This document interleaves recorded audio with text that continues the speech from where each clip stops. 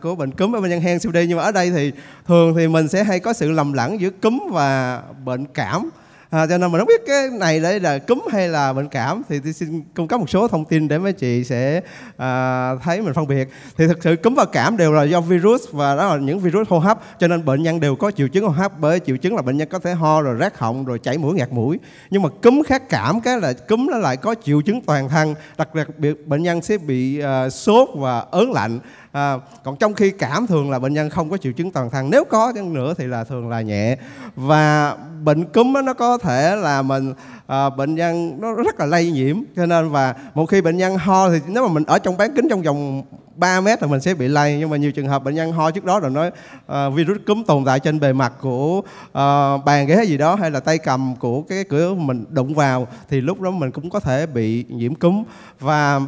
thường thì cái triệu chứng của cúm nó sẽ khởi phát rất là đột ngột. Nó nó so với uh, cảm thì thường là từ từ hơn còn cúm là khởi phát rất đột ngột và uh, bệnh nhân sẽ có thể có nhiều cái biến chứng và triệu chứng nó sẽ mấy chị sẽ thấy là nó nặng nề hơn so với cảm và nó kéo dài hơn. Thì đó là một trong những cái mà để các anh chị phân biệt cúm với là cảm trên lâm sàng. Còn về mặt chẩn đoán thì thường là người ta phải dựa vào cái phết họng mũi họng và làm PCR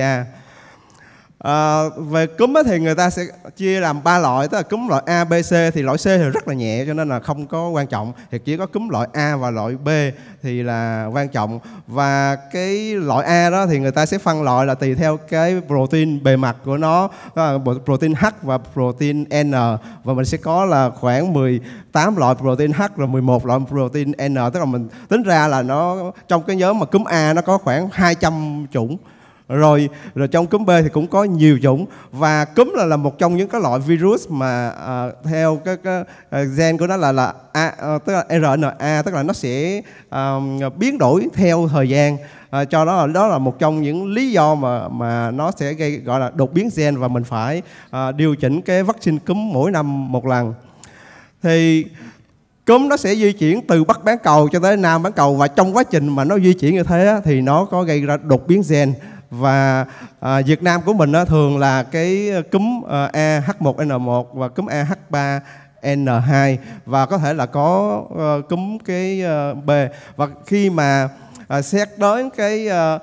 cái loại vaccine nào đó thì thường là tổ chức y tế thế giới họ sẽ khuyến cáo là mỗi năm thì mình sẽ sử dụng cái loại vaccine cúm nào. Và tháng 2 thường là họ đưa ra cái khuyến cáo đó là các nhà sản xuất sẽ sản xuất theo cái loại vaccine đó. Và tới thường là tới tháng 9 thì mới có sẵn cái ờ, vaccine cúm thì ở Việt Nam của mình thì cái biểu hiện của cúm này nó giống như là bắc bán cầu và nam bán cầu. Ở bắc bán cầu và nam bán cầu thì cúm thường xảy ra vào mùa đông. Còn ở Việt Nam mình có thể là xuất hiện van năm. Ờ, ở trong Nam thì thường là vào cái mùa mưa, tức là vào tháng 6 cho tới ờ, tháng 9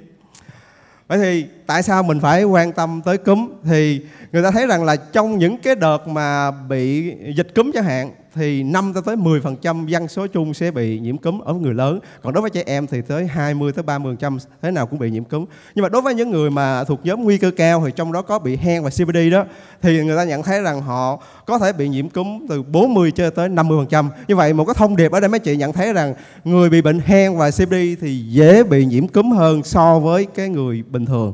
Và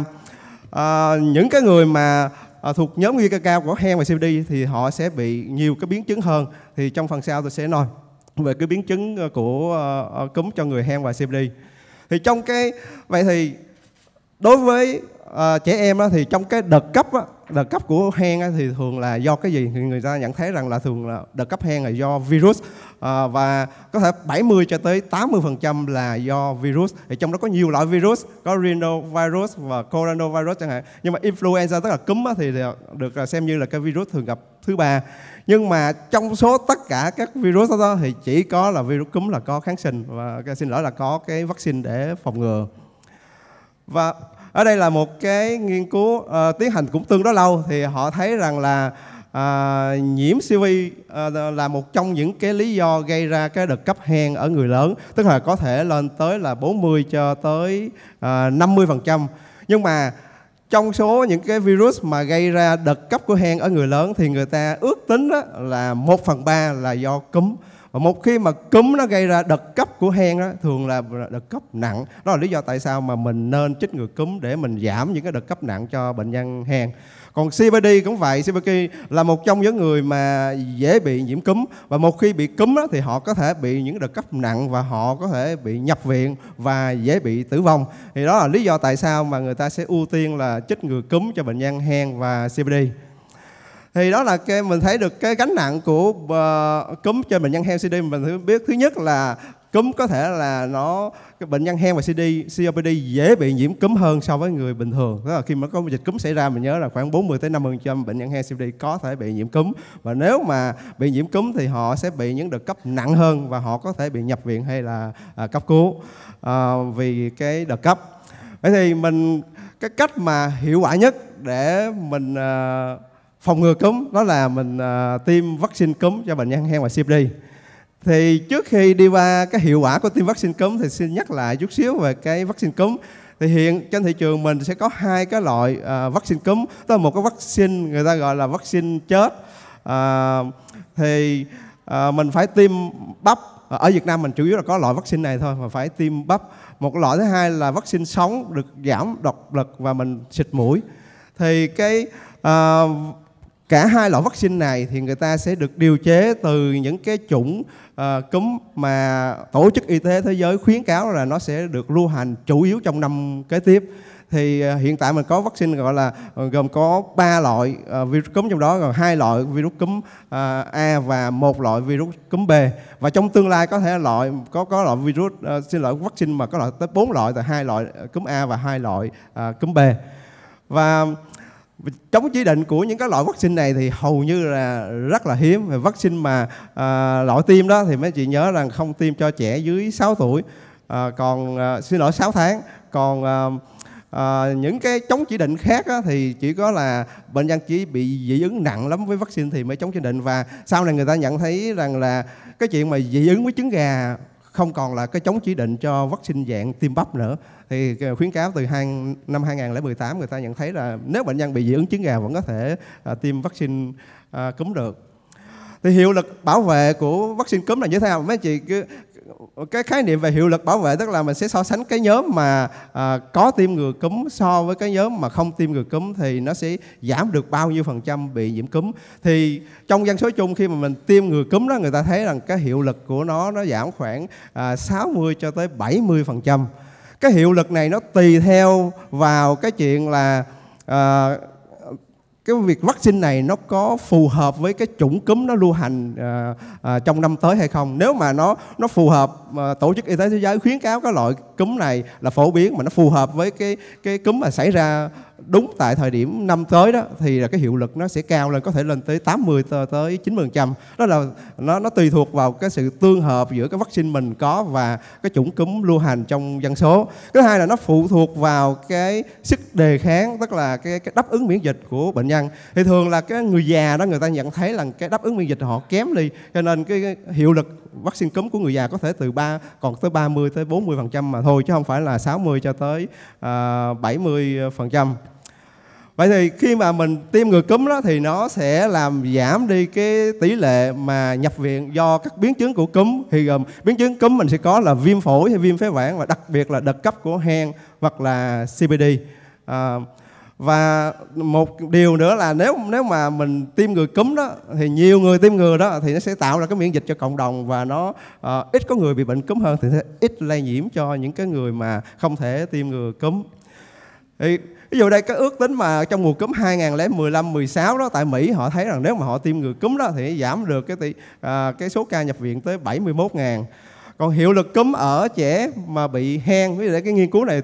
thấy là tương đối cũ thì họ thấy rằng nếu mà mình tiêm ngừa cúm đó thì cúm A nó cái hiệu lực của nó dạ, là khoảng 67 phần trăm à, còn cúm B thì là 48 phần trăm và khi mà nghiên cứu, một cái nghiên cứu này cũng tương đối là thực hiện tương đối cũ. Và các anh chị sẽ thấy là rất là nhiều nghiên cứu về cúm nó được thực hiện trong nhiều năm trước đây và bây giờ là họ không thực hiện nữa bởi vì họ thấy rằng là cúm nó đã rất là hiệu quả rồi. Và họ sẽ thấy là ờ, không có không có phù hợp ờ,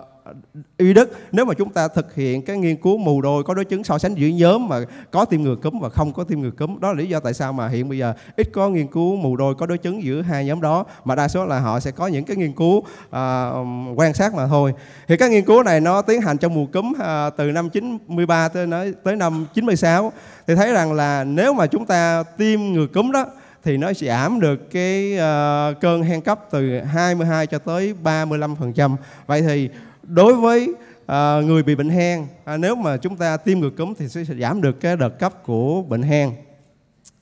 ờ, đây là một cái nghiên cứu gộp uh, thì thực sự thì cái nghiên cứu này thì họ cũng à, xem lại những nghiên cứu mà được thực hiện nhiều năm trước đó thì họ thấy rằng nếu mà chúng ta tiêm ngừa vaccine cúm đó thì nó sẽ làm giảm cái cái số lần mà bị nhiễm cúm mà xác định được ở trên uh, lâm sàng tức là làm PCR lao nó giảm được khoảng xin lỗi là làm PCR của cái cúm thì, thì nó giảm được khoảng 45% và nó ngăn ngừa được cái đợt cấp là khoảng tới ờ, uh, 78%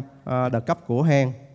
còn đối với bệnh nhân CBD cũng vậy khi mà chúng ta tiêm ngừa cúm thì nó cũng sẽ làm giảm được cái tỷ lệ nhiễm khuẩn hô hấp mà liên quan tới cúm. Thì đây là một nghiên cứu được tiến hành ở uh, Thái Lan. Thì tương đối là cũ mà chị sẽ thấy từ năm uh, uh, 2003 chẳng hạn. Thì khi mà họ chia các bệnh nhân CBD thành hai nhóm là có sử dụng uh, vaccine cúm và nhóm mà không có uh, tiêm ngừa cúm. Thì họ thấy rằng cái số mà bị nhiễm khuẩn hô hấp liên quan tới cúm ở bệnh nhân mà có tiêm ngừa cúm đó thì chỉ có 6,8 trên 100 à, người năm còn trong khi mà nhóm không tiêm ngừa cúm thì là 28,1 trên à, 100 người năm và sự khác biệt là à, có ý nghĩa thống kê. Và như vậy thì hiệu lực vaccine của cúm trong trường hợp này là tới 76%. Vậy thì mình thấy rằng nếu mà chúng ta tiêm ngừa cúm cho bệnh nhân COPD thì sẽ lại giảm được những cái nhiễm khuẩn hô hấp liên quan uh, uh, tới cúm và từ đó sẽ làm giảm được đợt cấp của bệnh nhân ờ, uh, COPD. Và đây là một cái nghiên cứu gộp thì họ cũng cho thấy rằng là nếu mà chúng ta tiêm ngừa cúm ở bệnh nhân COPD đó thì nó sẽ giảm được số đợt cấp Ờ, cho bệnh nhân mà được uh, tiêm ngừa cúm và nó giảm được cái uh, tỷ lệ nhập viện. Nhưng mà sự khác biệt không có ý nghĩa thống kê trong trường hợp này là do có rất là ít cái nghiên cứu mù đôi có đối chứng mấy chị thấy là chỉ có 180 bệnh nhân mà thôi. Tức là trong một thời gian rất là dài người ta không có làm những nghiên cứu mù đôi có đối chứng để so sánh giữa hai nhóm có tiêm ngừa không tiêm ngừa. Bởi vì là cái hiệu quả của vaccine cúm thì nó đã quá rõ ràng. Ở đây là một cái nghiên cứu khác được thực hiện à, từ những năm à, à, 93 cho tới năm 96 mấy chị thấy rằng là khi mà chúng ta tiêm ngừa cúm cho bệnh nhân bị CBD thì nó sẽ làm giảm được cái tỷ lệ à, viêm phổi à, giảm tỷ lệ mà khám ngoại trú hay là tử vong à, do liên quan tới cúm. Ví dụ đây mình thấy sẽ giảm tỷ lệ tử vong tới 70%. Vậy thì một lần nữa mấy chị sẽ thấy được là khi mà tiêm ngừa cúm cho bệnh nhân CBD thì không chẳng những giảm được cái đợt cấp, giảm được tỷ lệ nhập viện mà còn giảm được cái tỷ lệ tử vong.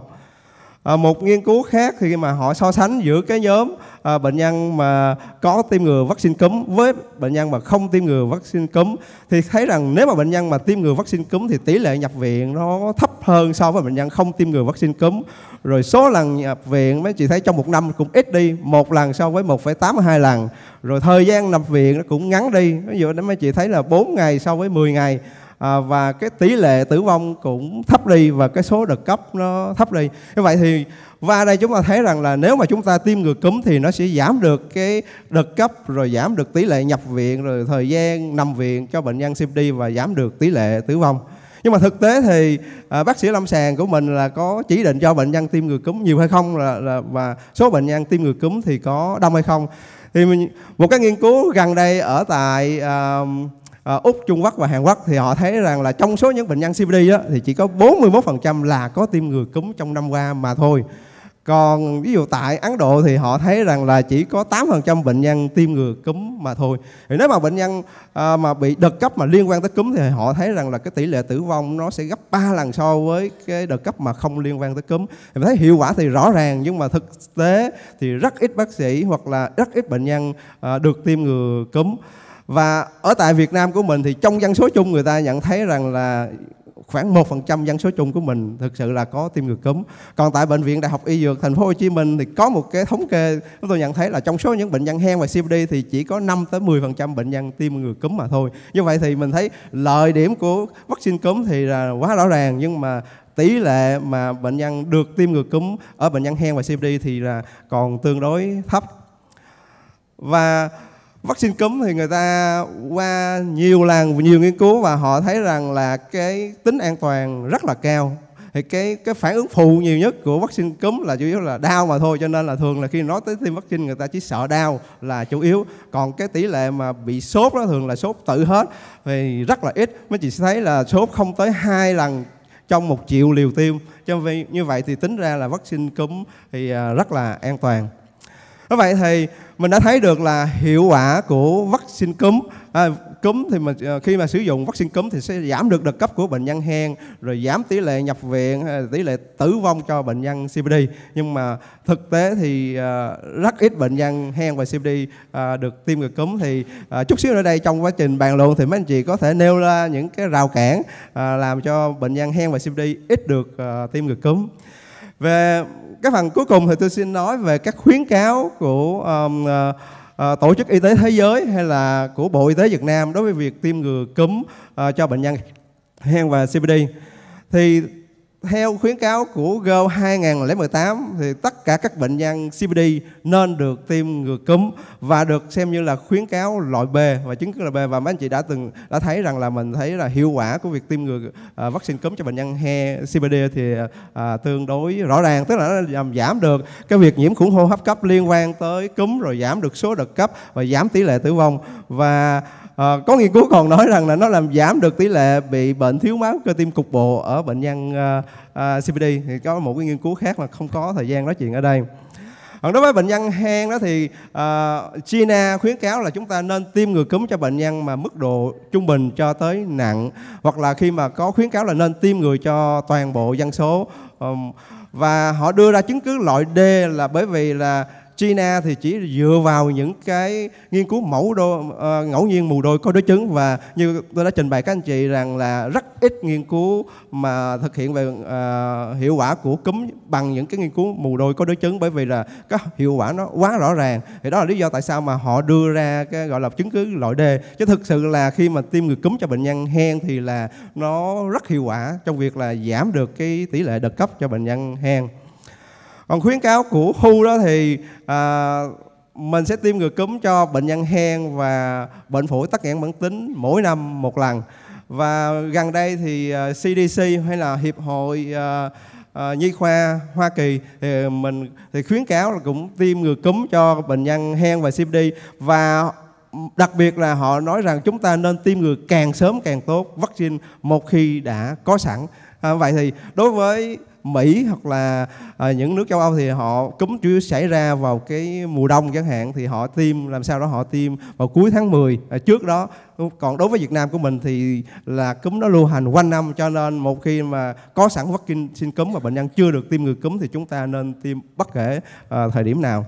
Còn khuyến cáo của Bộ Y tế Việt Nam thì à, cũng cho rằng là chúng ta nên tiêm ngừa cúm cho tất cả các bệnh nhân bị bệnh mạng tính gồm có phổi mạng tính thì trong đó là có hen và COPD như vậy thì à, bằng chứng về hiệu quả thì là đã rõ ràng à, và đã có khuyến cáo à, của tổ chức y tế thế giới và của bộ y tế Việt Nam. Thì à, à, hy vọng rằng là trong qua cái bài trình bày hôm nay thì mấy anh chị thấy được là ờ, cúm nó sẽ gây ra gánh nặng cho bệnh nhân hen và cbd và mình tiêm ngừa cúm thì sẽ hiệu quả trong việc giảm được đợt cấp của bệnh nhân hen và giảm được tỷ lệ tử vong cho bệnh nhân cbd